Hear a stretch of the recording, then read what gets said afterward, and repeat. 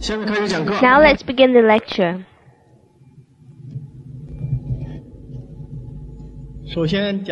First, let's talk about the issue of Tianmu, or the third eye or the celestial eye. In our cultivation community, a lot of people know that there are many supernormal powers that exist, especially when it comes to the question of whether we human beings can see the living beings and objects that exist in other dimensions. In society, these things are quite attractive to people. A lot of people are in strong pursuit of these things. Next, let us talk about what the Uh, Tianmu is 什么是天幕和它的结 and 构。 what its structure is. 我们所说的这个 The 天幕、 Tianmu 啊， that we talk about, 呃，当然我顺便呢，我先讲一下， actually, let me 呃 digress 关于这个 and 另外 first 空 talk 间 about the 这个说法 expression 啊 other 因为 dimensions 这个 or 涉 other 及呢涉 spaces, 及的 because this question involves 也是比较 things that tend to bring out 容易引起人的这个啊 different opinions among people. 不同的这个想法，是吧？有些人呐可能不太相信。 Some people may not really 那么我 believe 们 in 就讲一 them. 讲啊， So let's talk 现 about 在 how 在我们 other 科学界对 dimensions 这个 are 另外空间的 understood 认识 in the world of modern 大家知道啊 science.，一个最普 You know, the 遍的 most common understanding is what 就是 people 人 call 们讲的 a 四维空间。 four-dimensional space. Of course, this four-dimensional space, as they understand it, is different from the spaces we are talking about. But after all, they're already doing research in this direction. One American scientist pointed out that it's not just a four dimensional space, he believes there exists an 11 dimensional space. A Soviet scientist has already definitively stated that in his view, if the universe was created by the Big Bang, it's impossible that in that instant the explosion produced only a single time space. Very likely there exist other time spaces. In his theory, on the basis of his research, he believes that there should be 20 something different time spaces coexisting simultaneously. That is to say, it has already been definitively stated that in addition to the physical dimension in which our present human society exists, there also exist other physical time spaces. That is to say, whichever time space you take, they are all materially existing. They're not hallucinations or ephemeral things or imaginary things. They're not like that. Of course, in our cultivation community, with regard to this issue, it is affirmative and clear. We believe that other dimensions do exist. Moreover, we see the forms of existence of these other dimensions very clearly. There are those kinds of dimensions that exist at the same time and at the same place, and there are also horizontal ones, vertical ones, and there are also many unitary paradises. So this whole universe possesses an extremely complex structure. It's not this image that we see now with our human flesh eyes, that is, the vast expanse the sky with their countless galaxies and countless stars? Just as simple as that. It's not like that. The structure of dimensions is very complex in and of itself. I can give you a specific example. Human beings all have a body. And this body is composed of countless flesh cells. And the cells are made by an arrangement of countless molecules. And the molecules, in turn, are made by an arrangement of countless atoms, and after the atomic nuclei undergo fission, inside there are countless electrons, atomic nuclei, neutrons. Going further downward, one gets to quarks and neutrinos. Of course, these are still very far from the most original matter, that is, the most microscopic matter, the primary origin of matter. Our present science is very far from it. To understand it would not be a matter of a short historical period. That is to say, we have not yet detected the smallest origin of matter. But from the currently understood state of things, we see that some substances, such as atomic nuclei or even quarks and neutrinos are at the stage where it's completely impossible for us to examine them with a microscope. We only know of their existence from some special measurements, but can see nothing of their form of existence. But be that as it may, at present, scientists can examine molecules and atoms with a microscope. Think about it, everyone. Within the material dimension in which mankind lives, the largest substance we can see is a star, that is, other planets and stars, and the smallest we can see is a molecule. We live in between the stars, those large-scale substances, and the molecules.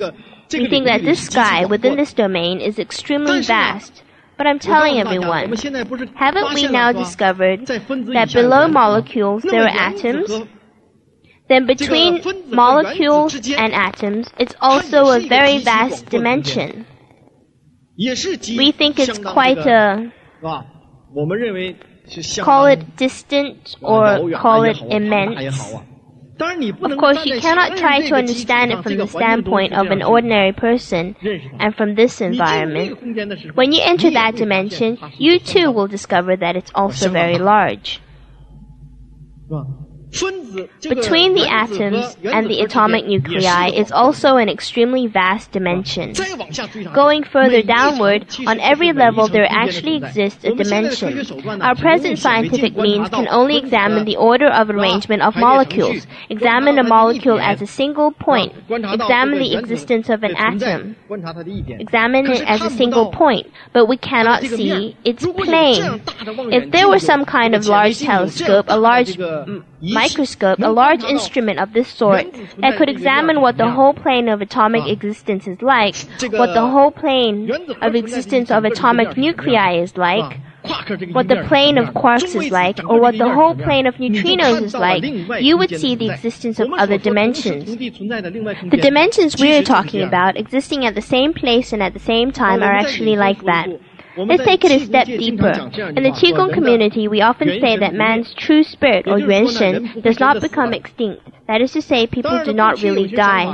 Of course, in the past, there were some other ways of looking at it. Saying that man has a soul and such, isn't that superstition? Now, is the true spirit we're talking about the same as the soul that they're talking about? Well, we wouldn't quite say so, because what they were talking about is very vague. That is to say, a person's life will not disappear when the person dies. Why? If you look at it using supernormal powers, in the instant when a person dies, it's just that the layer of your largest cells made of molecules have been discarded. While your body is made of atoms, atomic nuclei, neutrons, and going further down, have not been destroyed. It's just that they exist in other dimensions and you cannot examine them. They cannot be seen with the flesh eyes. So what you see that has died is nothing more than a person's body of flesh. Let me illustrate it for you a step further with an example. As physicists now know, the human body is made of cells which are formed by an arrangement of countless molecules, and the molecules in turn are composed of countless atoms. Think about it. These atoms, making the atoms undergo fission requires a tremendously heavy mass and high speed collision, right? That's what it takes. 是吧？才能达到这样一点的。我们那个恋人炉啊。At the temperatures in a cremation furnace, it's impossible to make the atoms undergo fission, and it's impossible to destroy the atomic nuclei. Thus, that body has not been touched at all. If you could really make the atomic nuclei undergo fission, then I'd say that the person in the cremation furnace would be a nuclear explosion. I'd say he could destroy a city just that one person. His body has enough molecules to destroy things within a large area. So I'm telling everyone, from the scientific standpoint, all the atomic nuclei, the quarks, the neutrinos, and so on downwards, that exist in the human body have not been destroyed. It's just that your body in this present material space has decomposed. But actually, it's also matter is conserved. If you were to decompose down to the tiniest, finest material composition, it still wouldn't disappear.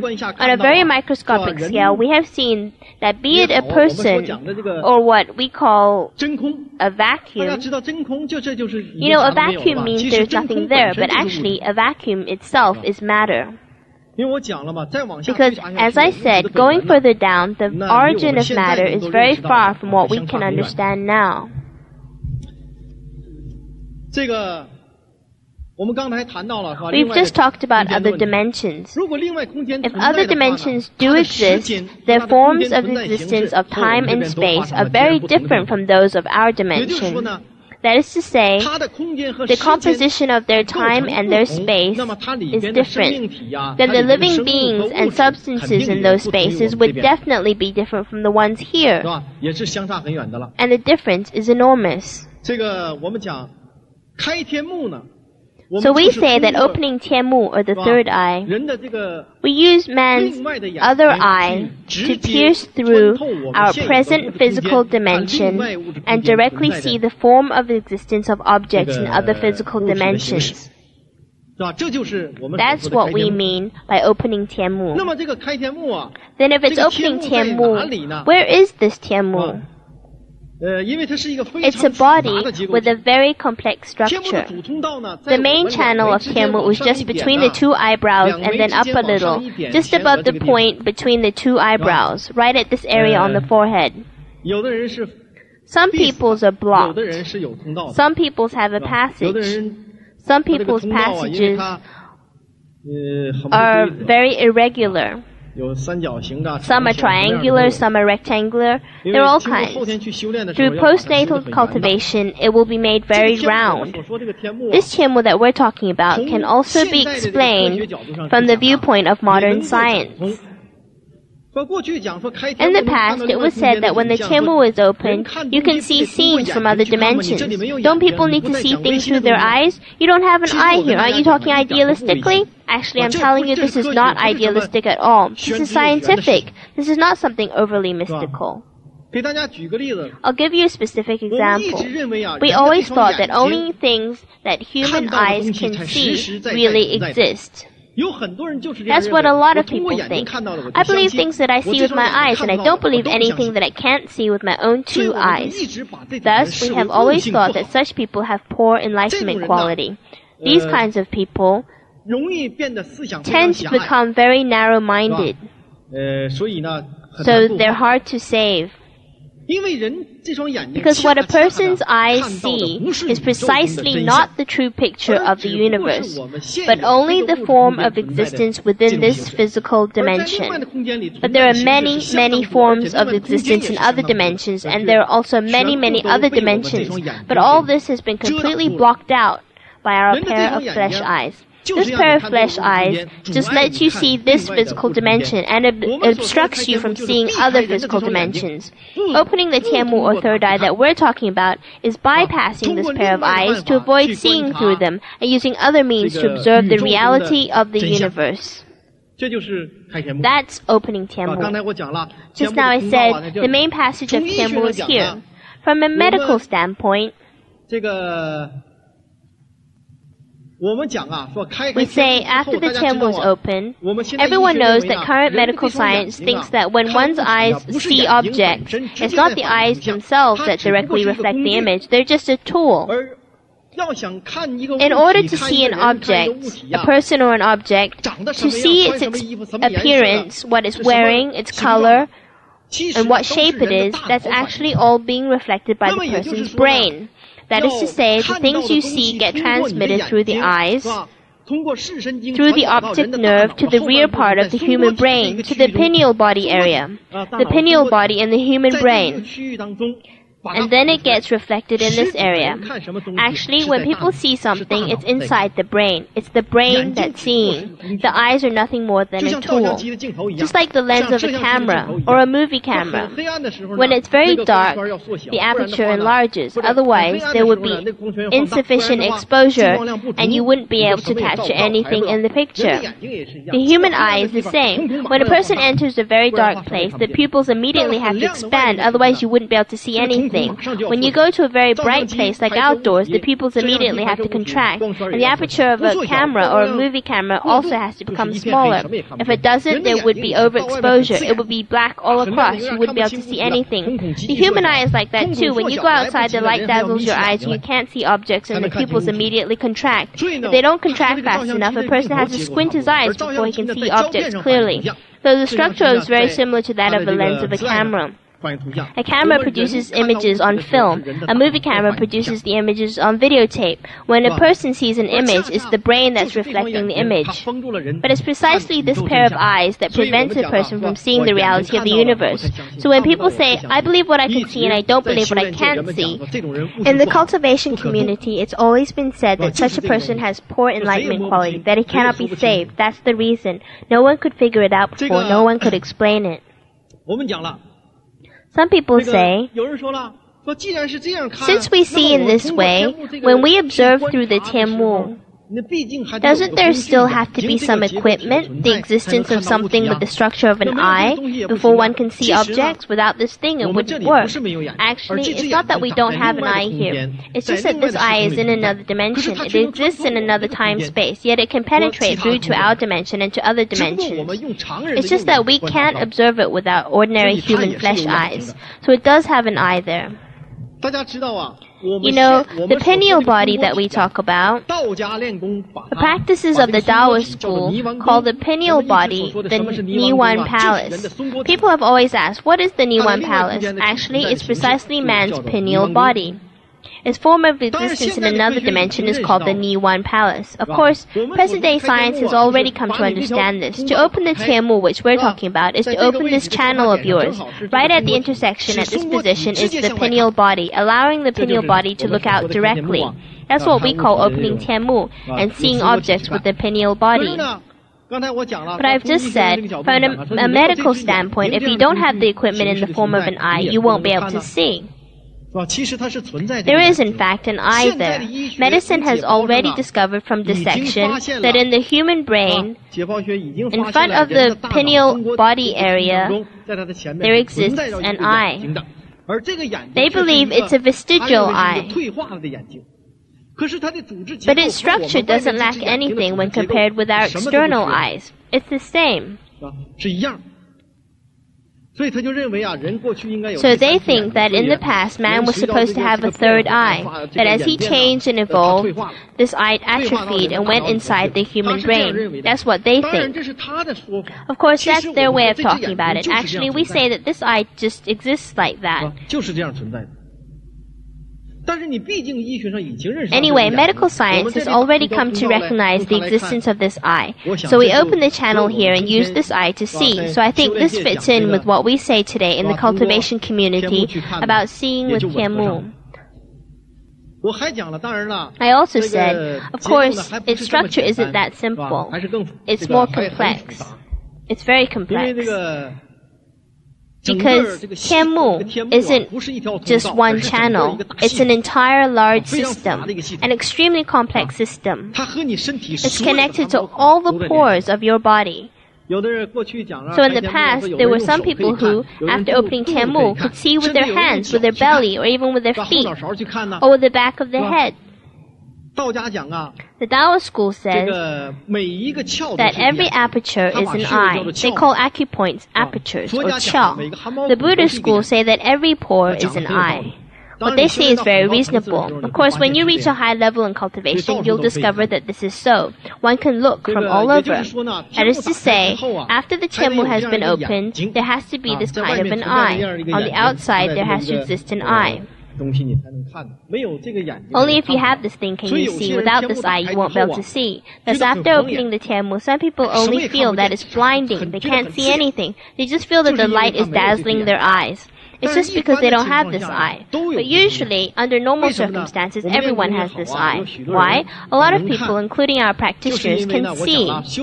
That's because, as I said, cultivation depends on oneself and gong or cultivation energy depends on the master. In addition to the Buddhas and the Taoist school masters that we know about, there are also all kinds of immensely large matter in the universe, all of which possess great divine powers, and they can help you directly. They see that this person is good with his tianmu is open already, so maybe they'll evolve an eye for you to see with. For those who have a master, the master will directly evolve an eye for you so that you can see. So a lot of people have opened their tianmu and can see. That is because they have this eye. It's outside the outer layer of one's skin and exists in another dimension. Of course, once after you have this eye and the passage has been opened, you won't necessarily see very clearly. There's also the issue of levels. Next, I'll talk about the issue of the level of one's tianmu. Why is it that some people see things this way while some people see things that way? Why is it that after opening Tianmu, people all see things differently? That's because everyone's level is different, which also involves the reason the levels are different is that people's inborn quality or genji is different. Because around this Tianmu passage, there also exists a field in which there is a very quintessential substance. Uh, we can call it refined essence of qi. This thing is very precious. It is evolved out of the most precious matter within our de, or virtue, a white matter. After opening Tianmu, people see differently because they have different amounts of refined essence of qi. If a person has preserved his refined essence of qi very well, after opening Tianmu, he sees very clearly. If a person has very little of this refined essence of qi, after opening Tianmu, he won't see clearly or even. For example, of the people sitting here, some people see light, some people see Falun, some cannot see anything. Some people can see other living beings, some people can't see some people can see. Even the lights that some people see are different in color. That's because it's determined by your level. So why is it that every person is different? As I was just saying, it's because of the difference in inborn quality. Then specifically, how does it work? Because I just said, for true cultivation, one has to emphasize de or virtue. But as ordinary people, people as they have developed today have trouble knowing what's truly good and bad. Of course, when I say that, some people don't really believe it. Saying, I'm very knowledgeable, I can't tell good from bad. What you're saying is practically insulting us.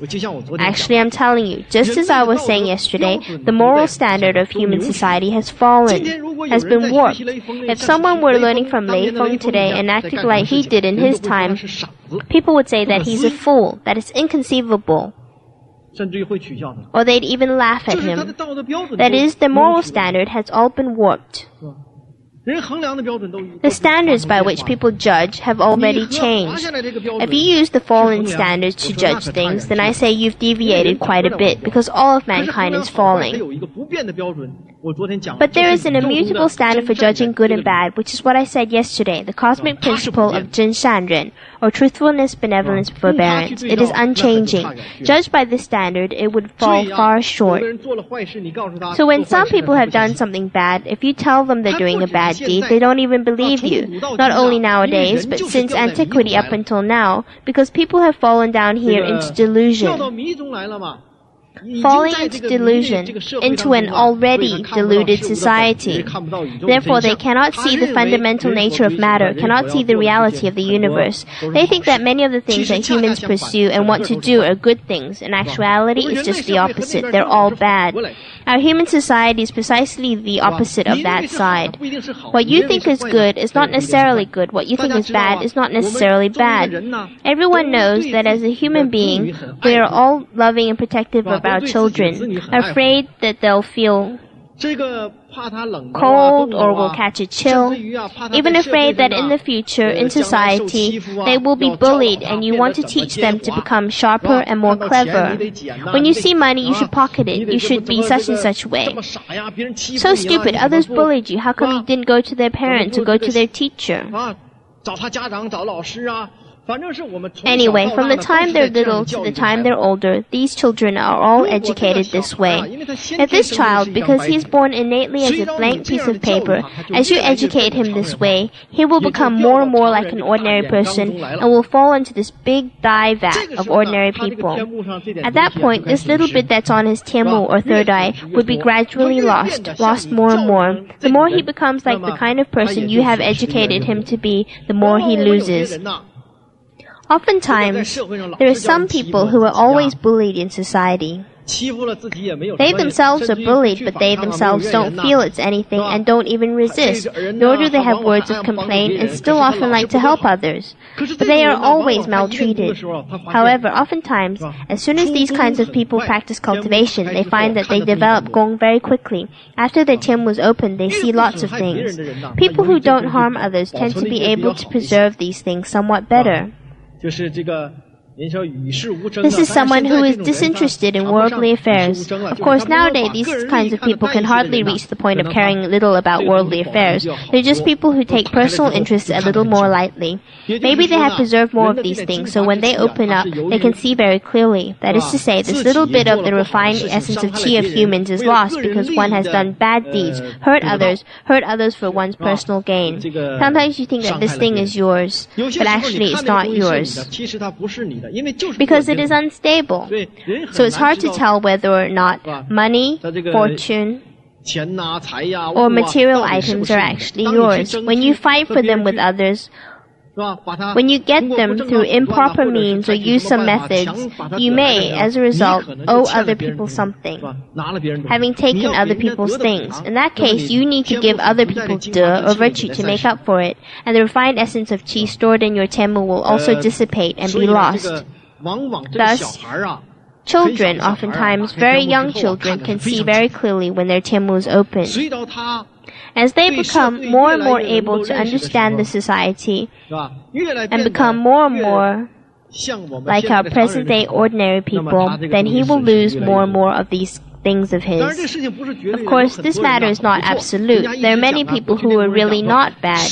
People have always said, in the past, people who practice Gong would say, the master seeks a disciple, not a disciple seeks a master. That is, a master needs to select this kind of person. His de would be abundant, and the things he would have preserved would be very good. Just now I said, that is, those of you who have preserved a lot of the refined essence of qi will see very clearly. Those of you who have little of the refined essence of qi left will not see clearly. In addition, with just a little bit more of this refined essence of qi, with that tiny difference, the result differs a great deal. Therefore, it's very hard to find two people whose xing is about the same. So here in the lecture hall, as I say now, suppose there are a lot of people whose tianmu was open. To find two people who are on the same level and see everything the same way is very difficult because it is determined by the level, and this level is in turn directly controlled by the fa. So it's the fa. At different levels, it also has different forms of expression. Thus, on this level, you can only see it like this. On that level, you can only see it like that. So people who are very high level can see the truth. It actually was the case that in the past we had many Falun Gong disciples who in their practice thought that their own tian was pretty good, so they flaunted themselves, telling people, you're possessed, you have this, you have that, such and such, right? I'm telling you, what you saw wasn't anything. Some things are transformed along with your thoughts. With some things, you cannot see their karmic relationship. You cannot see the true picture. What is spirit possession? Spirit possession and the messages you carry from your previous lifetime. Can you tell the difference? In reality, it's just those messages from your previous lifetime. So you said it was spirit possession, causing people to panic. Aren't you undermining the Fa? We have said over and over again, don't use the tianmu or how many or how high the supernormal powers are to measure the height of a person's gong. Only by using the xing to measure whether a person is good or bad can one determine the height of a person's level. Many people are locked. Those with great de oftentimes practice upwards locked, even locked up for a very long time. He has developed a lot of supernormal powers, but they've all been locked up for him, so he has nothing, which is to ensure that he doesn't develop attachments and will cultivate very high.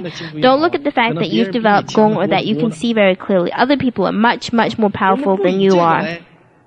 We do not delineate good and bad based on these things. Historically, it has also been this way. But it can confuse some people who have very strong attachments. They pursue these things, so they are very attached to these things. This is also an issue of inborn quality and an issue of enlightenment quality, 悟性. Basically, what you can gain, whether or not you can cultivate, whether or not you can reach the goal, I say, is directly related to your pursuit. Just now I talked about the issue of refined essence of qi, the issue of it determining a person's level. At the same time, we have another crucial issue that determines people's levels. Of course, just now I said that practicing cultivation within the triple world, because cultivation practice is divided into a couple of major levels. In triple world fa cultivation practice and beyond triple world fa cultivation practice. In triple world cultivation practice is the process of practicing cultivation with the ordinary human flesh body it's called in triple world fa cultivation practice, but it's different from the out of the secular world and entering the secular world in temples. We are now discussing it in the context of contemporary science of the human body. This is the division of the human body's two major levels. Beyond triple world fa cultivation practice is also called Buddhist fa cultivation practice and also called Arhat fa cultivation practice. That's practicing cultivation with a body that has already been replaced by high energy matter. One would already have gained fruit status or wei, Arhat status, but he still needs to endure suffering among ordinary people to be tempered among ordinary people, so ordinary people cannot yet tell his true image. People whose temple level is very high can tell. Thus, after one has gone beyond the intriple world uh, fa cultivation practice, there is still another issue uh, involved. The level of the Tianmu is also determined by another thing. These people have many, many eyes appearing on their ah. faces. They are numerous to what extent? It has no limit. For those with the most, eyes are all over the face. For those with fewer, it's one here, one here, one here. Under normal circumstances, apart from the main passageway at the Shangen area, the Taoist school calls it Shangen, that is, the root of the nose, this area, there is a secondary passageway, the main secondary passageway. Most people mainly see through this area. Between the two eyebrows below this eye, there exist all different secondary passageways of this eye. They are also factors that determine a person's level. Of course, there are more that can only be obtained when one has reached a rather high level. That we won't talk about because if I were to discuss it, you would not be able to accept it because your current cultivation practice is too far behind it. So those things won't be discussed. In the future, when you ascend up there, you'll know it all. Just now, I told everyone a bit about the structure of the Tianmu. Now I will talk about what phenomena exist when one opens the Tianmu by oneself. As everyone knows, during the Qigong practice in the past, a lot of people's Tianmu were open. Many people had different experiences in the process of opening the Tianmu. There are a few states that I will discuss with everyone. First, when opening the Tianmu, one feels that the forehead is bloated. It's uncomfortable. Please uh, pay attention. As I'm talking about the Tianmu structure, I'm opening the Tianmu for everyone. For those who genuinely practice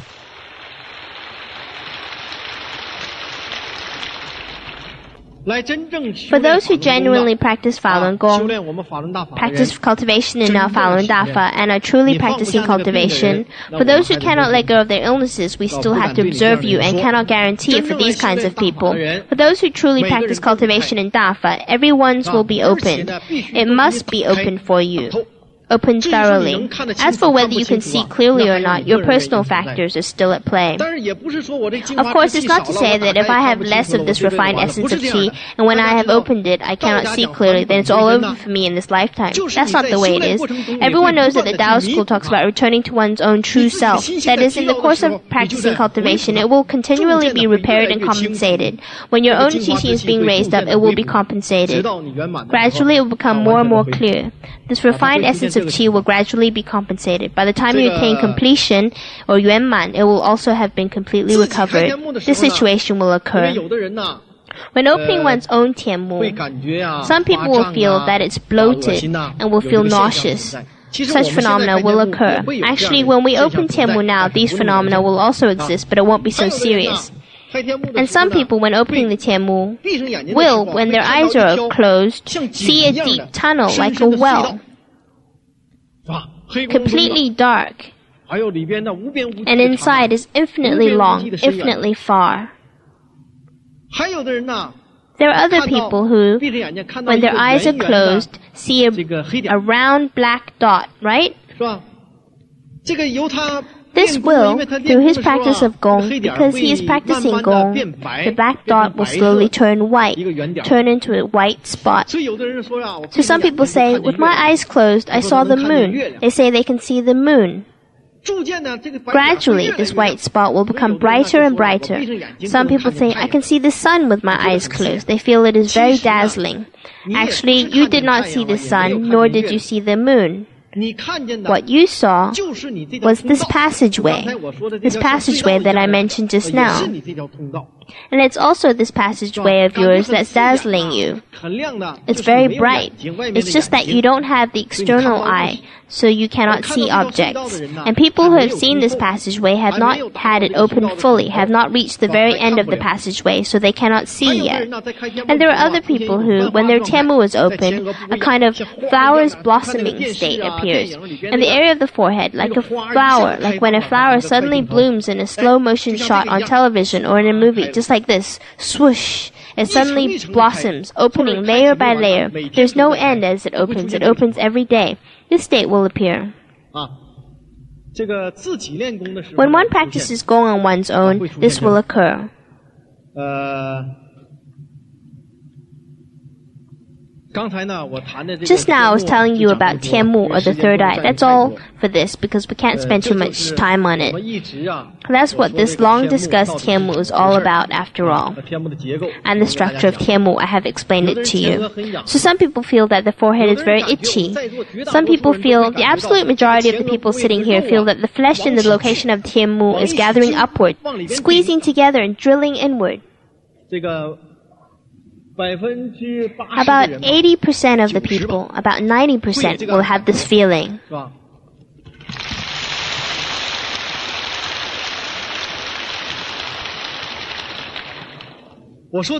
Is what I'm saying correct? Is it so? The audience replies yes.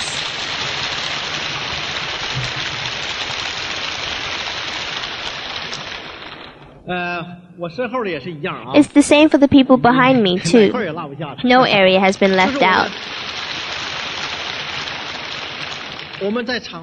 Our students outside the lecture hall have not been left out either. Everybody will feel the flesh gathering and drilling in. Uh, it will be open for everyone.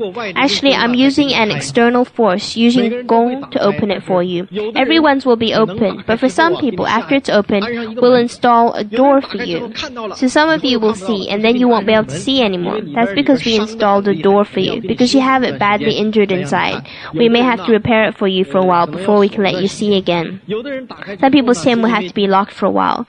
Some people, after mm, having it opened, can't see clearly because too many of their own things have been lost.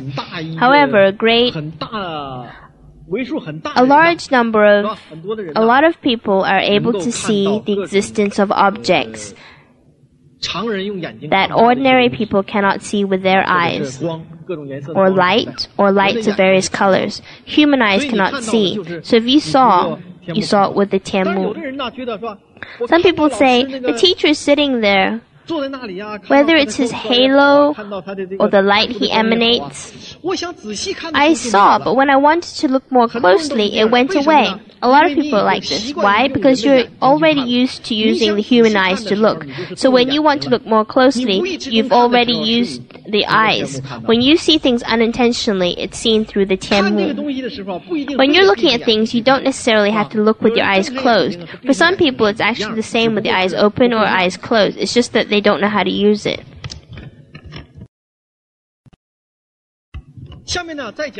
Next, let's talk about the two supernormal powers directly related to Tianmu. One of them is called clairvoyance. It's directly related to our Tianmu. What is clairvoyance? It's not like in front of you, there's an object and you see it, be it with your eyes closed or through another object. But it's when an object or a person isn't present on site. He's in some faraway place, or you'll hear he's in America or he's in Beijing. and you say you can see what he's doing. This supernormal power is one of the six supernormal powers recognized in the world. Clairvoyance. It is believed that it does exist. So what is this clairvoyance all about? Let me tell you about the situation. Nowadays, in the cultivation community, there exists an incorrect understanding that when a person emits qi or when a person can see something, he has such an ability to instantly penetrate so far or emit so far and see things that are far away. Actually, as an ordinary person or a person who practices qi, you don't have anything. You have no way whatsoever to see these things. In fact, even if you have a lot of accomplishments in the intriple world fire cultivation and developed a lot of supernormal powers, you still don't have that ability. So how do you see it then? Actually, as I was saying yesterday, in each of the different dimensions, the human body has a different body and a different field existing simultaneously with it. In one special dimension, since there's a field for every one of the bodies, in one of those fields around your body, there exists the following phenomenon. Whatever there is in the universe, all the objects can be reflected into this field of yours. Just like a mirror, everything can be reflected into this field of yours. There's a sun outside, so maybe there's one reflected in your body too. But although it exists as a kind of reflection, you know, we say, although it's a reflection, it also exists physically. It's also matter. I'm telling everyone that the shadow formed beside you by light falling on your body is also matter. As science keeps on developing, this will be discovered in the future. That is to say, in one special dimension, your body has this field. And in this field, there is a special reaction such that everything can be reflected from the universe into this field. The clairvoyance we're talking about is in fact just that you've seen these images reflected from the universe into your field. It is a capability of the universe, not your own capability. It's refracted over here for you by the universe. It's actually this kind of situation.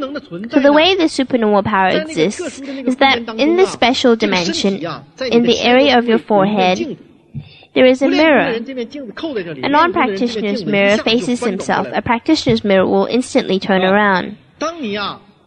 When your power of clairvoyance comes out, this mirror will begin to flip constantly at that area of the forehead. Its frequency of flipping is very high. You know, when a projector is showing a movie faster than 24 frames per second, the movements appear continuous.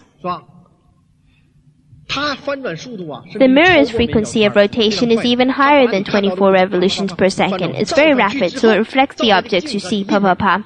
After the picture is reflected onto the mirror, the mirror flips and lets you see it. As soon as it flips back, it erases it. Then it flips again, makes an imprint and lets you see it. And then it flips back and erases it again. So it lets you see it like that over and over again. So the things that you see are continuous and linked. Thus the things that are captured on this mirror are nothing more than the images that are reflected from the universe into your field.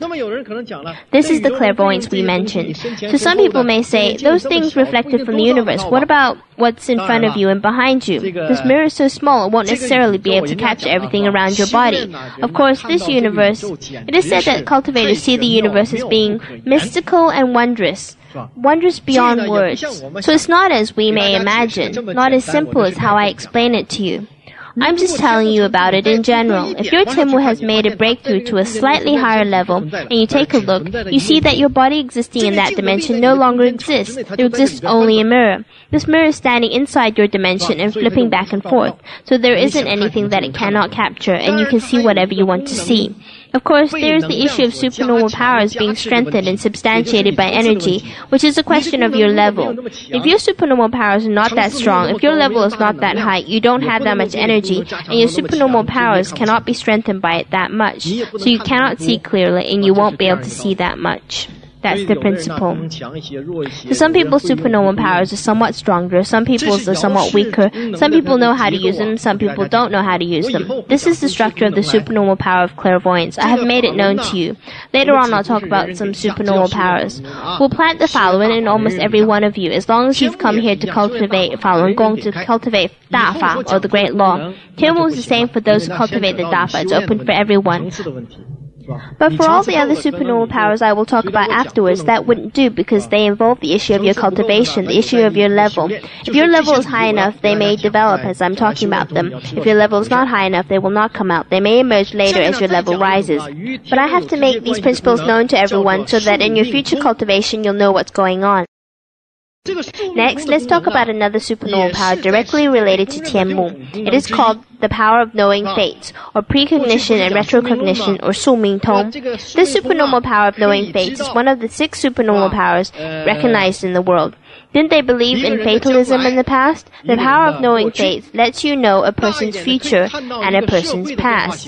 If it's a bit stronger, you can see the form of change of a society. If it's a bit stronger than that, you can see the form of change within a certain extent of the universe. That's the supernormal power of knowing fates that we're talking about.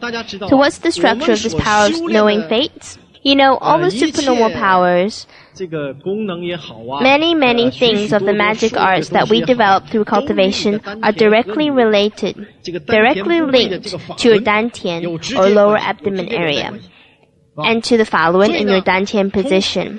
So rising up from the dantian up to the Niwan, then from the Niwan a beam of light shoots out. Just like the projection beam in a movie screen, forming something like a projection screen at the location of your forehead. Very much like the cathode ray screen of a TV. In the beginning, some people cannot see clearly and feel that it's flickering. Just like when a TV isn't tuned, there are lines and static flickering here and there on the screen. Once you tune it precisely, it will show images. It's very much like a TV, like the cathode ray screen of a TV. Once this thing works well, this person can watch it through it can be watched with your eyes closed or watched with them open. When it's very strong, you can see it with your eyes open. It's all the same. When it's weak, you can only see it clearly with your eyes closed. So images will appear on it. It will show images. Just now I talked about the question of other time spaces. In other time spaces, there are other different forms of existence of our body. Just now, when we were talking about the supernormal power of knowing fate, I mentioned that it's possible to know a person's future and past. Some people would say, isn't this talking superstition? The future hasn't happened yet. How are you going to see it? Actually, I'm telling you, when a person is born, your whole life already simultaneously exists. Then there's another question here. Some people think that all our struggle and effort in our life are for nothing. Our Guangdong province is very wealthy now and everyone's doing business. Isn't this through our effort? This is caused by changes in celestial phenomena. You are a part of these celestial phenomena. It's an inevitable consequence. Maybe you don't believe what I say. Of course, there are some small fluctuations. Through personal effort, some small aspects can be changed. Why? Because if it were not possible to change small things through personal effort, the problem of man doing good and doing evil and creating karma or yeli would not exist. So by underhanded means he can harm other people and change some minor things in the course of his lifetime. But it's very hard for him to change major things. He is totally unable to do it. An ordinary person is unable to change the course of his life. You cannot change it at all. It can only be changed in two cases. One is that this person stops at no evil, hurting others and harming himself as though he's out of control. But what lies ahead of him is complete destruction and an end to his life. The, I don't think anybody will want to take this first road. Another road is that this person takes the path of cultivation practice. Because as I have said, in this universe, this is seen as the most precious. That is, this person has the intention to cultivate in his heart. He wants to return to the origin, go back to the truth. He wants to return towards goodness. People keep saying Buddha nature, Buddha nature. That's what they're referring to. Once it comes out, it shines like gold. It shakes the ten directional world. Everybody sees that this person wants to practice cultivation. His Buddha nature has come out. The people will help him unconditionally. What I said yesterday about healing illnesses is the same. If all you want is to get your illnesses cured here, if you're still an ordinary person wanting to recover from illnesses, but your illnesses for an ordinary person, how can these miseries be casually eradicated for you? Didn't you yourself create them in the past? That's the principle. But when you want to cultivate, I can change it for you here, and that's the only way. If you yourself do not change yourself, if your human heart does not lean towards goodness, you want to just dust off your butt, leave it behind, and throw it all away, that won't do.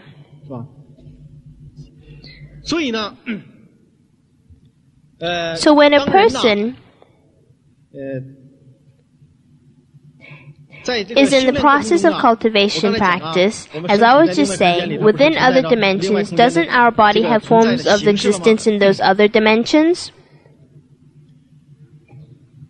The objects in other dimensions, their forms of existence as compared to ours, the forms of existence of objects in different dimensions are also all different. Uh,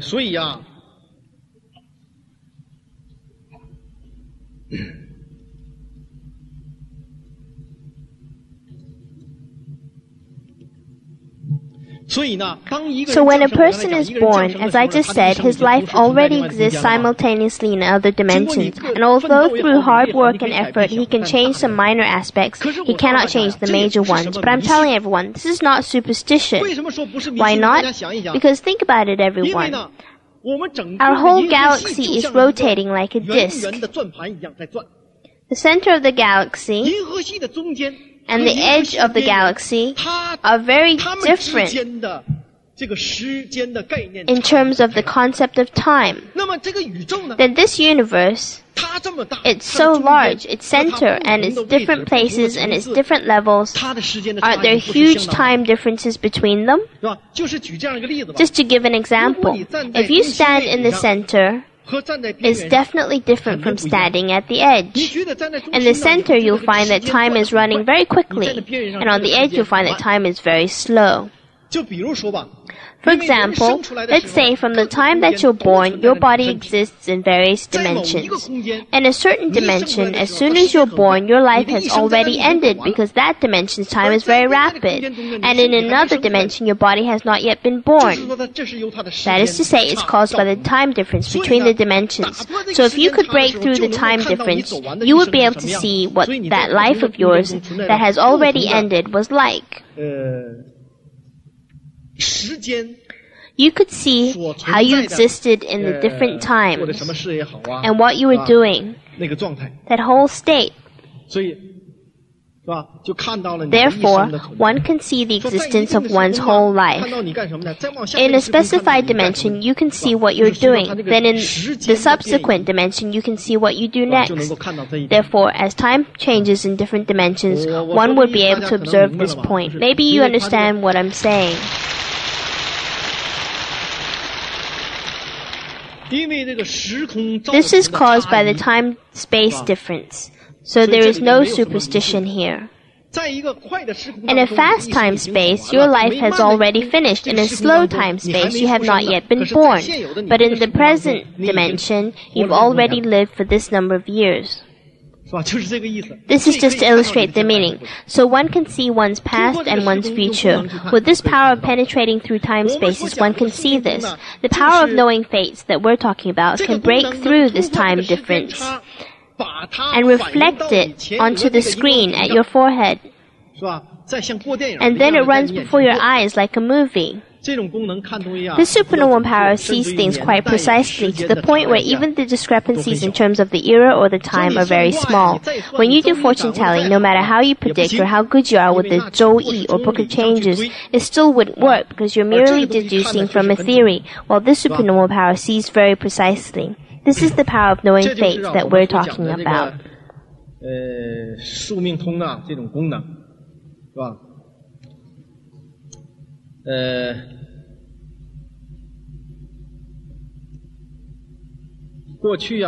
In the past, we these days people are talking about flying saucers and aliens. Now there are research institutes, both private and government sponsored, all are doing research in this area. Actually, I'm telling everyone, those things, their science is very developed. They have already broken through this physical time of ours. They can go through different time spaces. Time is definitely not the same in different time spaces. So they come as they please and go as they please. Maybe within one second they'll return to their place, then maybe in another second they'll come back again. If they have taken a very rapid time space, as soon as they go there, they'll have arrived, because that dimension cannot be measured with our present concept of distance. One cannot use that to delimit it. It's not delimited in this way. What may seem only one foot away could actually be as though it were a hundred thousand miles away. But it cannot actually exist in this way. It's not like that. Just now, while we were talking about Tianmu, the third eye, we incidentally discussed two supernormal powers. Now let's talk about an expression that exists in our Qigong community. There are two terms that a lot of people now, cultivation and Qigong communities, have always failed to explain clearly. But in the Qigong community, in the cultivation community, and in the past in the religious community, this expression has always existed. What is this expression? It is to transcend the three realms and go beyond the five elements. These words sound very mysterious. In the past, there were some Qigong masters, whether they were genuine or sham, who knows how they became Qigong masters. People would ask them and they would dare to talk about it. They just came up with some haphazard stuff. Transcend the three realms and go beyond the five elements. So people who didn't believe in Qigong would ask them, which one of you has gone beyond the three realms? Which one of you is out of the five elements? So people nailed them, choked them off. They didn't know what to say. So if you don't know, don't randomly say things or it will have the opposite effect and do damage. So now we'll explain this question to everyone because this is directly related to the issue of our cultivators cultivating to high levels. First, let's talk about being out of the five elements. Everyone knows that the ancient Chinese theory of the five elements states that metal, wood, water, fire, and earth form the five elements. From the viewpoint of modern physics, these elements of metal, wood, water, fire, and earth are also scientific. They're ancient Chinese physics, and it's believed that they're scientific. There is a book that compares and points out the correspondence between the five elements and the table of elements of modern chemistry. And it's really correct. For example, let's talk about metals. Be they gold, platinum, iron, lead, tin, copper, no matter which one you take, they're all metals, right? 是吧？是这样吗？这个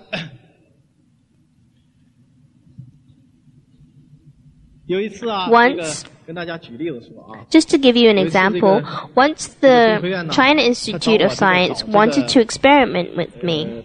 测定拿了一个玻璃 They 管 took a 里面 glass 装上 tube 这个 containing a very small, very thin strip of aluminum. The glass tube was fused shut, so of course you couldn't remove or substitute the contents. After they brought it out, the usual experiment would be to just add some energy to it and then they'd go back and measure the energy. These things have been done by everyone, and the scientific community has known for a long time that Qigong masters have energy that ordinary people don't have. So I told them, this is what I'll do. I will scramble the order of its molecular arrangement. You know, the arrangement order of a metal is the most stable. If that's changed, then the surface metal will undergo a change. This hadn't been done before, so I shook it in my hand, and then it was taken away for analysis. Upon examination, it was found that the aluminum strip had changed. The surface metal had changed. One part had become iron, one part had become copper, one part had become silver, one part had become gold, and some had become other metal elements. That is to say, it was made up of a number of different metal elements. How could this happen? How could this happen? Because I zapped it. I scrambled its internal molecular arrangement, so this happened. That means, just now I gave an example to tell you that the five elements of metal, wood, water, fire, and earth are ancient Chinese physics, so they're scientific. Then, according to the five element theory, metal, wood, water, fire, and earth compose the myriad of things of the universe. No living being and no physical body falls outside of these five elements. They are all composed of these substances. There is truth to this, it's very scientific. So now this sounds even more mystical. Why? Because think of it. If a person has gone beyond the five elements, that means he has gone beyond the physical world. This sounds, on the surface, this sounds very mystical. Actually, there's nothing mystical about it. Why? We'll tell you, just listen. It's sure to be scientific. We Qigong masters People who have accomplishments in cultivation, or monks in religions, monks with cultivation accomplishments, all have energy, all have gong. This has been recognized for a long time as a result of the experiments done over these past years has been recognized for a long time. Everything that can be detected now, infrared, ultraviolet, infrasonic waves, ultrasonic waves, neutrons, atoms, gamma rays, many trace elements, as long as there exists an instrument that can measure it, it will all be found within the energy emitted by Qigong masters. And moreover, they're present in considerable quantities. The higher the level of a Qigong master, the more of these substances he will emit. Why doesn't an ordinary person have them? This proves that Qigong masters have gong or cultivation energy energy. Under the effect of a special electromagnetic field, a Qigong master can emit a very strong aura, multicolored and very beautiful. Of course, an ordinary person also has an aura, but it's very small. If the Qigong master uses his mind intent to emit it more, it becomes even stronger. It's quite hmm. intense. That is to say, cultivators have gong. They have this high energy matter. So this gong, as I said, it's not like forming a dan or an energy cluster in the lower abdomen that we mentioned. As I said yesterday, dan is just a bomb. It's just a preparation for the day you complete your cultivation or kaigong, at which point it will explode and release all of your supernormal powers and unblock your hundred energy channels. So that's all this dan is used for. It is not the entirety of the stored energy. It's just a part of it. A genuine system for cultivation of both mind and body involves going beyond the five elements. A system that does not cultivate both mind and body does not teach cultivation of binti or one's own body and bodies in other physical dimensions, so it doesn't teach going out of the five elements. It only cares about transcending the three realms. A system that cultivates both mind and body involves going beyond the five elements. It will transform binti. The body will leave the physical body, leave the physical environment. But actually this person still has to cultivate among ordinary people. So ordinary people cannot see the difference on the surface. But in this body, the energy is stored not only in the dantian part. Whereas it's stored, every cell of your body is storing up energy. Moreover, your molecules, protons, atoms, electrons, even going further downward, all the way to the extreme microscale, to the origin of matter, all are undergoing a change. It is said that practice of Gong changes the human body from the inside. All the molecular cells are undergoing this fundamental change. That is to say, all of them are accumulating energy. All of the microscopic cells of your whole body are accumulating energy. And since this energy is stored in your cells, it exists in the same formation as the cells of your body. Since this energy is stored in your cells, it exists in the same formation as the cells of your body. But you know, as your gongli, or energy potency keeps rising, this high energy matter will become denser and denser. As its density becomes greater and greater, how will it change? It will, it's a high energy matter to begin with, beyond your normal cells. It will come to restrict all of your original cells and replace all of your original cells. Possibly you won't have any more metabolism. They will have been completely substantiated and replaced by this high energy matter, and the original cells will have been expelled. Even your cell nuclei will be replaced by it. Once you have reached this stage, think about it. Is your body still a body composed of the five elements?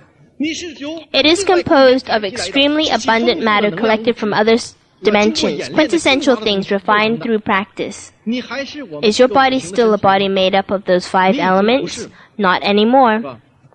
It has already undergone a fundamental change. So think about it. Haven't you gone beyond the five elements? This kind of body will not naturally age or wear out. It will remain forever young. Of course, it's easy to say, but one has to go through a round of arduous cultivation to reach this stage. However, this person still has to continue cultivation among ordinary people, so it must not be that on the surface ordinary people can see that he's different from others. If people see that he's like a deity, no one can touch him, he exists like light, and nobody would be able to. Everybody would worship him like a god, nobody would make conflicts for him, and without this environment of conflict, where is he going to raise his xinxing so he wouldn't be able to elevate himself further. Thus, he has to continue to be the same as ordinary people to the greatest extent possible. Thus, ordinary people cannot see it, but practitioners can see it. People with attainments and cultivation can see it because he has already undergone a fundamental change. Nonetheless, if you cut this kind of body with a knife, it may bleed, or if it's hit by a car, its bones may fracture. Why? Because the molecular composition of all the cells of the human body has been fully replaced by high energy matter, but the molecular arrangement, the structure and shape inside have not undergone a change. So blood is still composed of those extremely tiny molecules. Thus it is in the liquid state.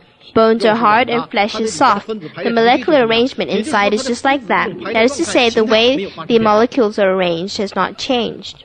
So on the surface, he looks the same as an ordinary person, and you cannot see the difference. But basically, he has already undergone a fundamental change. He has only a layer of skin left to go. After this shell is cast away, this person will be, he'll be fundamentally different. When this stage is reached, it will be the cultivation of the beyond triple world fa, the cultivation of the arhat fa, also called the cultivation of the Buddha body. Is this kind of a body still an ordinary person's flesh body? Hasn't he gone beyond the five elements? You know, we were just saying that energy exists in the body of a Qigong master. Gong exists there, high energy matter. This high energy matter exists in every cell. Of course, gradually he will replace those cells. As he substantiates them more and more, wouldn't it have this kind of effect? Once it's been explained, isn't this all scientific? Where is there any coloring of superstition here? Some things cannot yet be understood, but some things aren't absolutely beyond understanding at this point. Some things have already been discovered in some frontier sciences, but just haven't been publicized in society. But already the things that people in the world of science have already learned are enough to change our present day textbooks. But since the present society has been deeply influenced by traditional education, it's very hard for people to accept it. Even in the face of objective reality, people don't dare to admit it.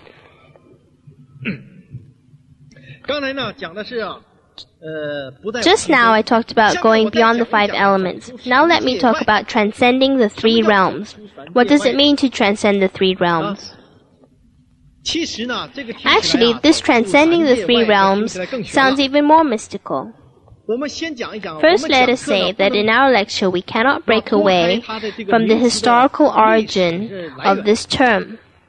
This is not a term created in our modern world of cultivation or in Qigong. It was passed down from the ancient world of cultivation and religions.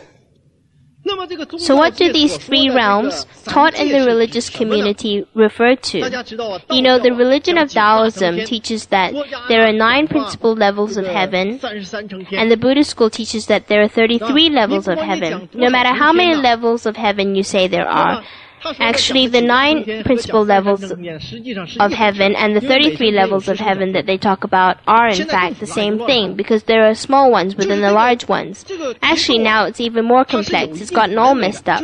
This structure has a certain boundary. That is, they believe that the three realms, however many heavens there may be, do after all have a limit. Outside this limit, you're beyond the three realms. Inside this limit, you're within the three realms. So why do they call what's within this dimension the three realms? The heavens, the human world, and the underworld compose the doctrine of the three realms. All the living beings within the three realms have to undergo reincarnation.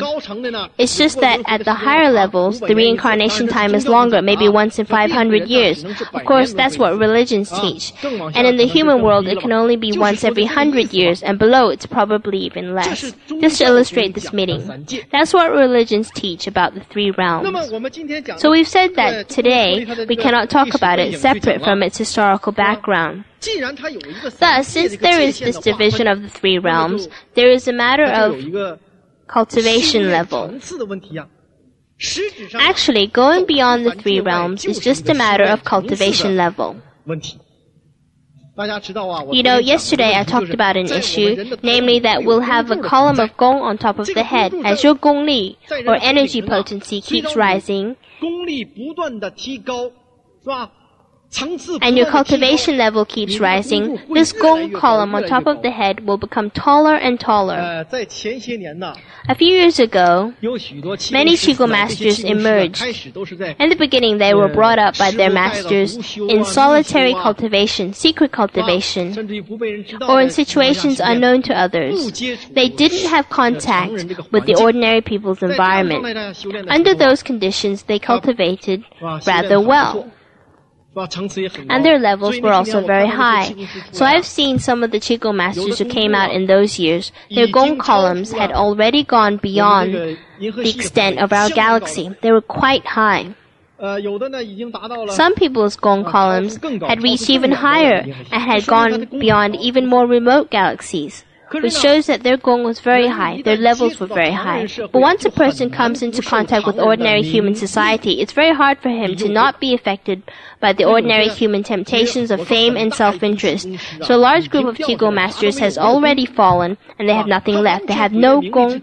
They have completely fallen into fame and self-interest. They were completely ruined by fame and self-interest. They seek money, they seek self-interest, they harm others, they match powers against one another. They do all kinds of messed up things now, and cause serious damage to the condition of our Qigong. So they have no gong left. Because the gong is as high as the xinxing. This is absolute because it's cultivated according to your heart. If your xinxing falls, your gong also falls, and your level also falls. And all your bodily transformations and other changes also reverse and degenerate. This is absolute. So I'm just saying that as your level increases, so does your gong column. The three realms that they spoke of, we examined from the standpoint and framework of modern physics. And we discovered that the three realms that religion spoke of in the past was merely within the range of our nine principal planets. Some people say that there are ten principal planets. That's, I say I'd say this is that doesn't exist. Let's not say anything bad. Let's just say that that doesn't exist. There are no ten principal planets. There are just nine principal planets. So what they spoke of is just something within the range of the nine principal planets. Then, we've said beyond this range, if the gong column that you've developed through cultivation practice is beyond that range, haven't you gone beyond this limit of the three realms? According to religion, once you've reached the fruit status or attainment status or guo wei, wouldn't that be your place in the future? Won't you go there in the future? Didn't you cultivate your way there? Didn't you leap beyond the three realms? So you'll no longer be subject to the suffering of reincarnation within the three realms. That's what religion says. So isn't it really a matter of the fruit status and the level of your cultivation? It's simply a matter of the height of one's level. Among our Falun Gong disciples, there really are some who've cultivated quite well and whose levels are very high. So just now I talked about transcending the three realms and going beyond the five elements. That's all we'll say for this issue. Next, let's talk about the mentality of pursuit. I had to take care of some things in the northeast back in my hometown. So I spent more than three months at home, and I was also interested in seeing how Falun Gong would develop when I wasn't around. And throughout the country, some people did very well, and some people did very poorly. Even some people in charge did very poorly. Of course, some of them have not yet listened to the lectures. In some areas, some people spontaneously organized these. They had heard the lectures once, hadn't understood them, yet organized an assistance center, made it. We're just saying that there are some people whose purpose in studying the Gong is really impure. For true cultivation, you have to purify your heart. In the past, it was said, what was it? To cultivate your body, you must make your mind sincere. You must put right your thinking. If you come to obtain the Fa with a mentality of pursuit, you're not going to get anything. Pursuit itself is an attachment. I'm telling everyone a truth. The purpose of your cultivation practice is precisely to eliminate all kinds of those attachments of yours. All the attachments that you cannot give up among ordinary people. You pursue people. Why can people make up human society? Why can they make up this special dimension? Because in man, there exists qing or sentiment. It too is manifested in this dafa of Zhen Shan Ren at this last stage. There is the existence of Qing, what you like, what you enjoy, your relatives and friends, romantic love, affection between father and son, affection between siblings, what you like to eat, what you don't like to eat, what job you like, you want to get famous, you don't want to get famous, how you show off the fame and self-interest. All of your attachments originate from this Qing or sentiments. Your joy, anger, sorrow, and delight are all this qing. Man lives his whole life just for this qing. I'm telling everyone, as a person who truly practices cultivation, when you reach a very high level, you have to discard this qing of yours. This qing can reveal many, many attachments. Because of this qing, People pursue fame, pursue self-interest. Even when they're very old, they're still pursuing fame and self-interest, pursuing money and social status. There are also those who pursue other things. There are those who live just for proving their point. That's also for Qing. I'm just saying that all these are the things that human beings are attached to. That it's very easy to bring these ordinary human concepts into cultivation practice. When you first begin to practice cultivation, you're completely unable to detect them. They've already formed into fixed ideas in your consciousness. You're completely unable to detect their existence. When you do those bad things, you still think that's just the way it is.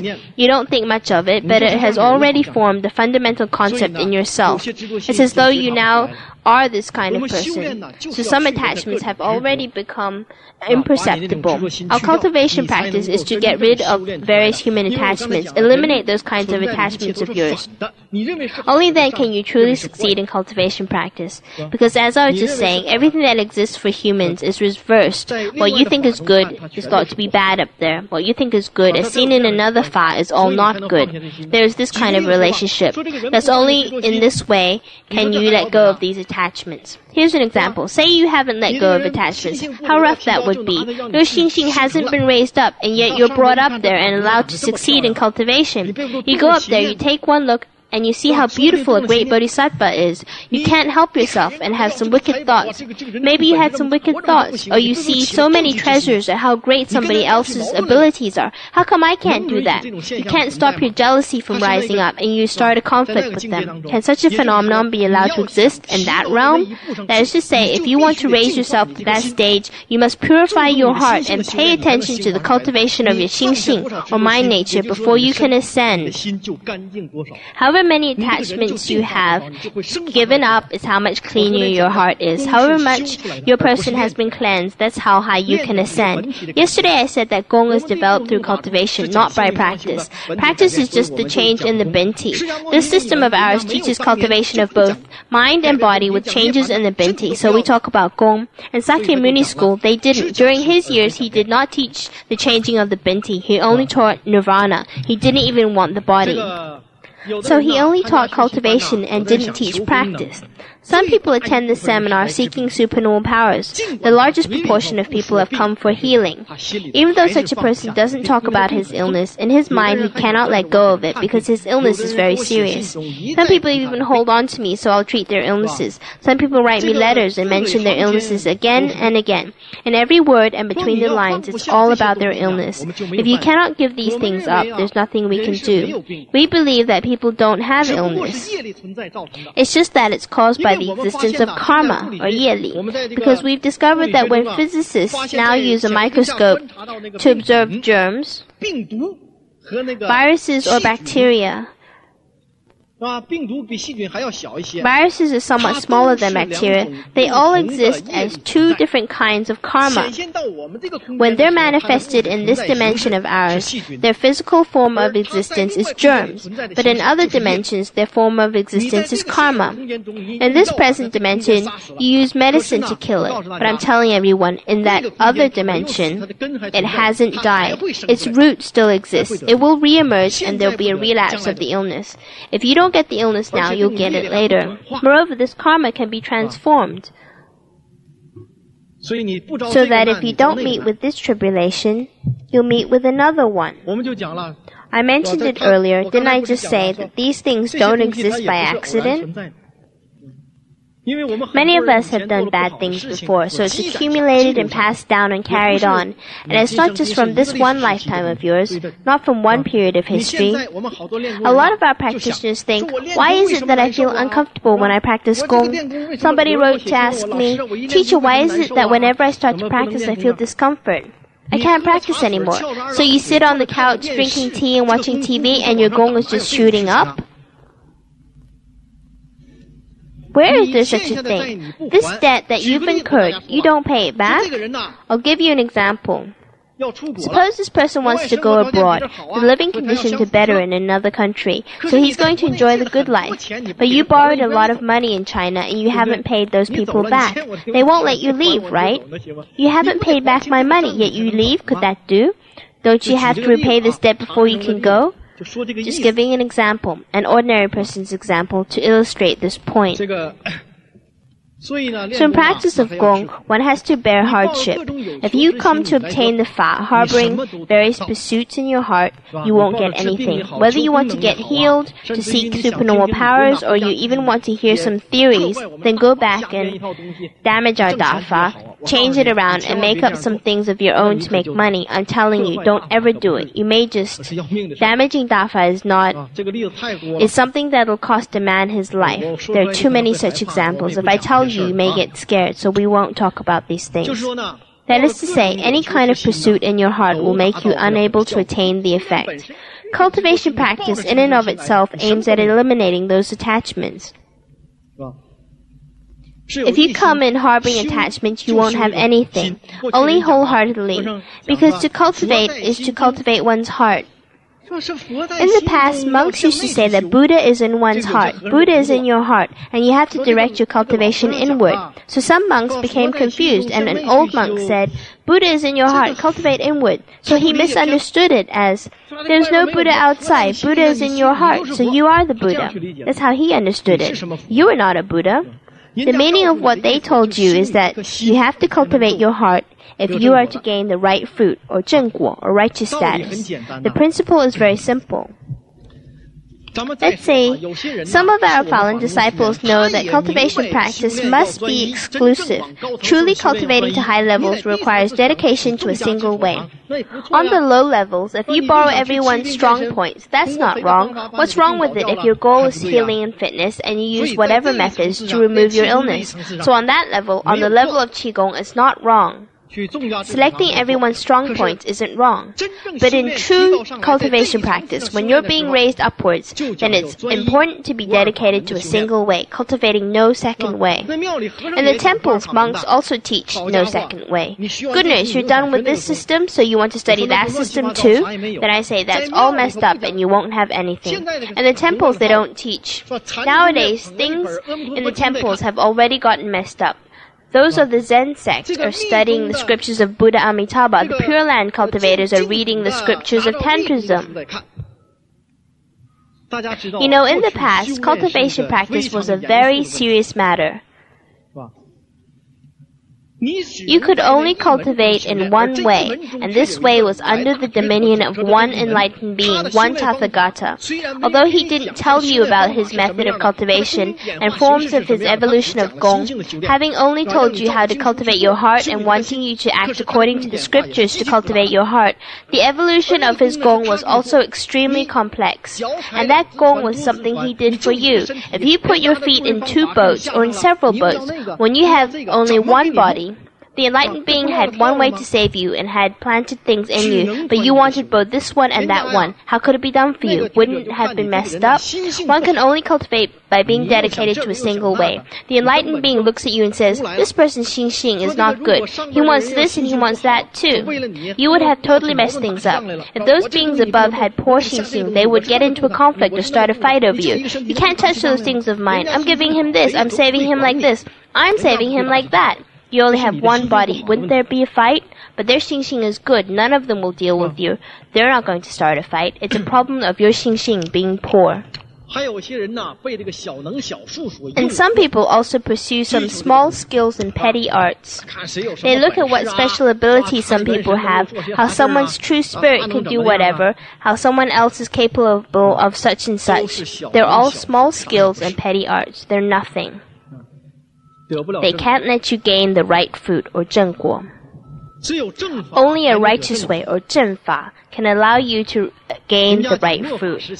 It is said that in the Dharma ending period, goblins, demons, ghosts, and monsters have emerged. That's what Sakyamuni said. That's what religions say. They bring chaos everywhere to human society. Actually, the Dharma ending period that Sakyamuni spoke of is precisely now. It has already come to the Kalpa ending period of the Dharma ending period. I'm telling everyone, where in human society is there a land of purity? Think about it. Conflicts between people have already become so Where is the land of purity? Even the normal life of human beings is being disturbed and damaged by some people. There is no land of purity. Of course, conversely, I say, our Falun Gong is a land of purity. I dare to say that.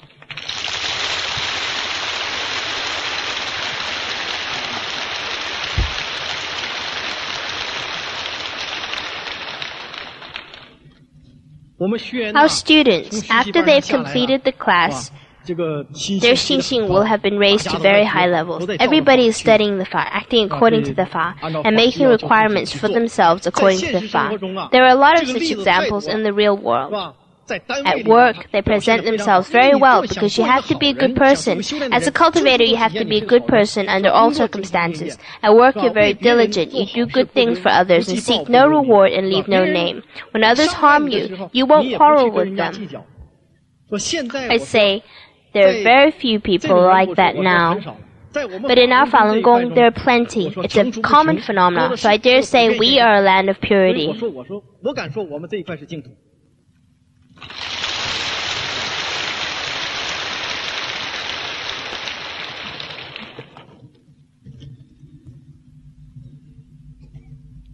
Then there are some people to whom supernormal powers are very important. Supernormal powers don't determine one's level of cultivation. They're just a byproduct of one's cultivation practice, and everyone has them. But without the raising of one's level, without being strengthened by the energy that comes from the rise in Xinxing and in one's level, nothing will work.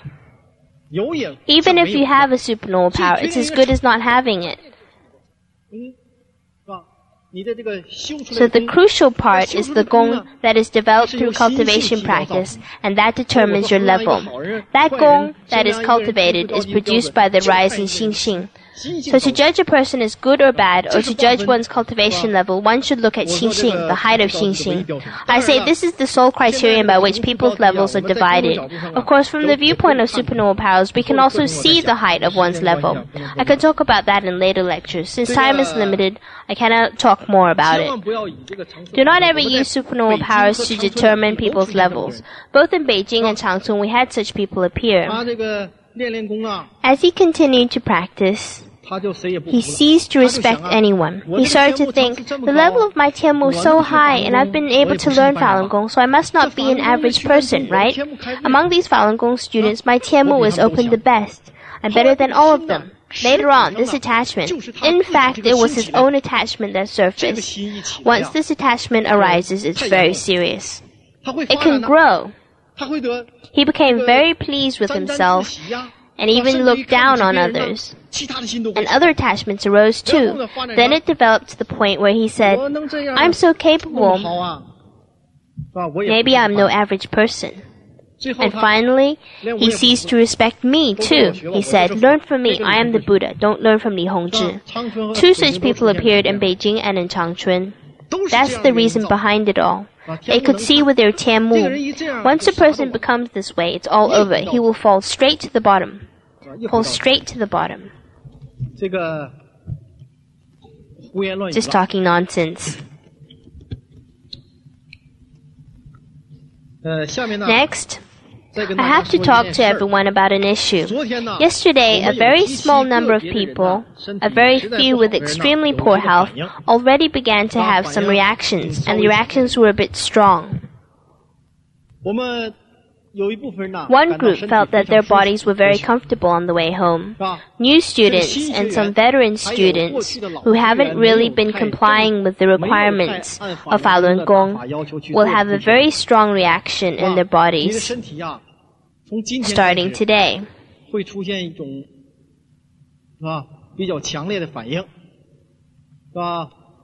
Many people will have this reaction. Because in these first four days, we have to purify your bodies, so it comes on rather violently.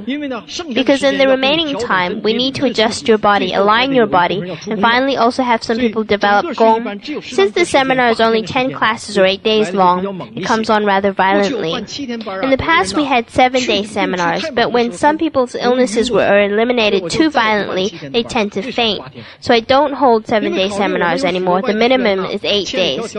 We try to be considerate of the people from out of town who come here, traveling thousands of miles. The expense is quite high. Food and lodging are a burden for them. We try to shorten the time, but it can't be shortened anymore. It can only be shortened to eight days. So the reaction comes on very intensely. A 10-day seminar is the most stable. For some people, let me tell everyone and declare in advance, you may feel your head ache, your brain ache, or part of your body that used to have an illness will hurt again. It will become uncomfortable again. You will feel sick and dizzy or even collapse as if from a serious illness or a serious flu. There could be all kinds of conditions. Not everyone will have every kind of condition. Some people may have this condition, some other people may have that condition. Some people who have illness all over over will feel that their whole body is chilly, as if they've fallen ill. As I said yesterday, today we've completely removed the roots of the illnesses in your body.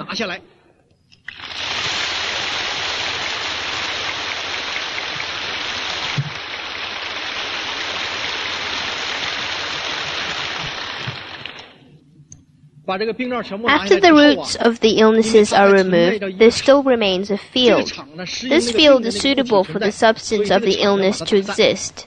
So this field has to be dispersed. After it's dispersed, it will come out of your body. Actually, we could clear out this field for you too, but it cannot be cleaned up this way. Why not? Today we've already done a lot for you. If you don't enjoy any of that field yourself, and if we were to make it all go away for you, it also wouldn't conform to the principle of the universe. Thus, you have to endure some of it.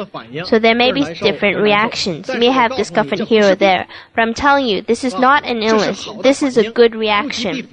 Things that reach an extreme must turn around. When you feel the most discomfort, it has probably already started to go away.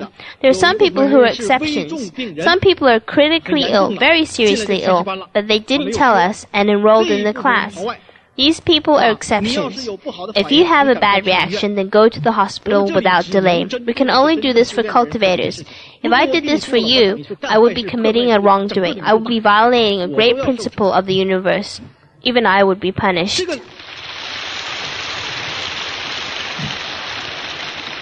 We've already opened the door very wide.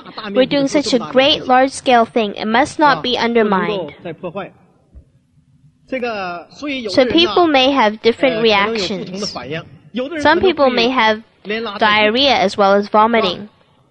Some people in other regions told me Teacher, all the way back home, I kept looking for toilets, running from one toilet to the next. I could hardly pull my pants up. Why? Especially here in the south, in some regions, we have people who eat everything, raw, live, everything. So all the entities accumulate in the stomach and intestines, and other bad things are already quite numerous. All of which have to be cleaned out for you. So there may be these kinds of reactions. There are fewer such reactions in the north and more in the south. Since your internal organs have to be cleansed for you, you may feel it. Some people only have diarrhea, no vomiting. Some people only have vomiting, no diarrhea. There can be various reactions. Some people's stool will even be black or bloody and have things like pus. What some people vomit out is like that. There can be all kinds of reactions, but they're all oh, good. Then there are some people who sleep and when I finish talking, they wake up. Why do they sleep? Because the human brain is the most sensitive. If we worked on it, you wouldn't be able to endure it. Some people have a brain condition and it could be a serious one. We have to fix it up for you.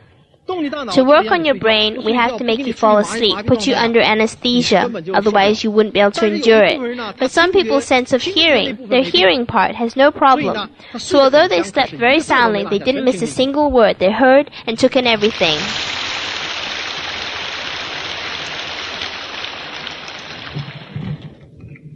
But whatever I say, in every seminar, there are people who latch on to me to heal their illnesses. Some people, when I pass in front of them, they even collapse over there and won't get up. Oh, the expression on their faces is really agonized, meaning, come on, fix me up. I'm telling you, if I didn't fix you up, Later on, you could have major illnesses and you wouldn't be able to stand up for many years or you could lose your life. Today we have reduced to such an extent for you, we cannot fix you up anymore. Everyone has different amounts of karma. However, we have pointed out that for critically ill people, if you feel bad, go to the hospital without delay. That's all for today's lecture.